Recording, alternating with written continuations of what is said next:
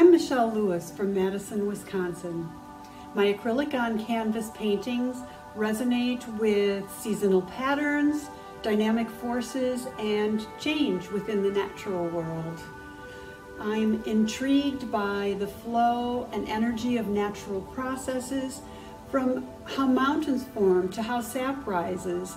I'm genuinely curious about it all. And it's that curiosity that drives my art practice. As a formally trained artist who's also a naturalist, I spend a lot of time in the natural world.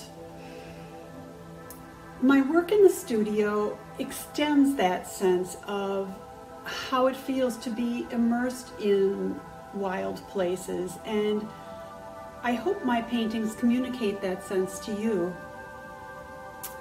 As an abstract expressionist, I love the excitement of facing a big white canvas.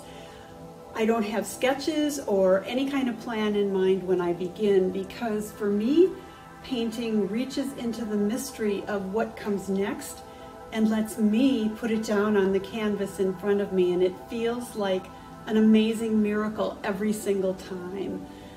I love abstraction as opposed to more realistic work because it challenges my curiosity and my courage as a painter and it challenges your openness as a viewer. And I love being an artist because it allows me this kind of connection while honoring my kinship to the natural world. Thanks for listening.